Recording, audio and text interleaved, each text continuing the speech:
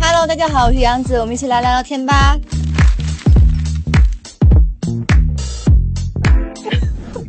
大全的，那就是惊讶的。我一进这个场地，它的地板全都是这个玻璃是碎的，会让我觉得生命的短暂。我们可以在这个短暂的过程当中尽情的去享受它的美，所以我会觉得很贴合这个主题。然后所有的音乐色调都是非常贴合主题，包括模特出来那一刻，其实我会觉得很震撼，因为我今天离他非常的近，所以他走到我面前的时候，每一个毛孔其实我都能看得很清晰。然后每件衣服的搭配都会让我觉得哇，就是让我会觉得太突破了这一季，我很喜欢。